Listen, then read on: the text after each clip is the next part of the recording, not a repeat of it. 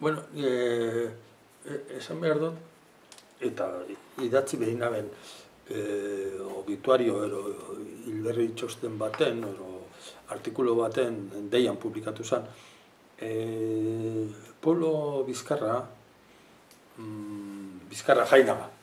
ja, deitura biekin. E, Polo Bizkarra jainaga izan zen e, nire osabaren anaia, e, osaba politikoaren anaia. Da, mutil zarra zelan zen, e, ka, bere onduen loitzen haben, bi oeko gelan, eta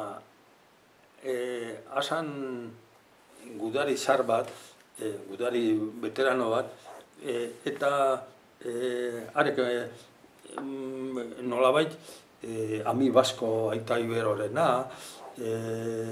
eta eta evangelista iberiko e, iberokoa eh ibero nafarroako herrize